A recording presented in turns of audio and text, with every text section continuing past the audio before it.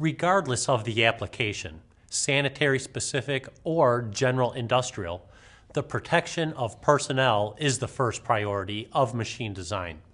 Yet, more than general industrial, sanitary specific designs must ensure worker safety and functional performance while still fulfilling product safety requirements.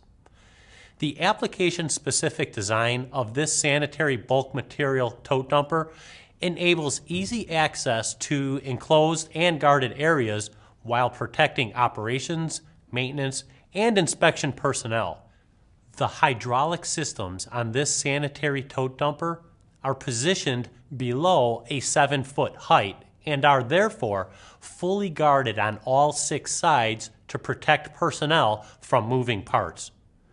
Though located well below and separated from the product contact area, this fully enclosed cabinet design also protects product from fluid contaminants.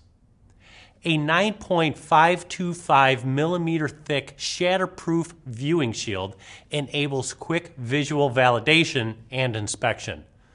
When access is required, simple tools can remove the shield, and a tool free clamp provides quick access to the reservoir. The application specific construction of the product discharge hood on this sanitary tote dumper uses a high strength, non toxic UHMW polyethylene hatch to protect product from contaminants during input and discharge. To speed cleaning, validation, and inspection of the internal surfaces of the sealed discharge hood, the hatch gate can be removed by one person without tools in less than 20 seconds.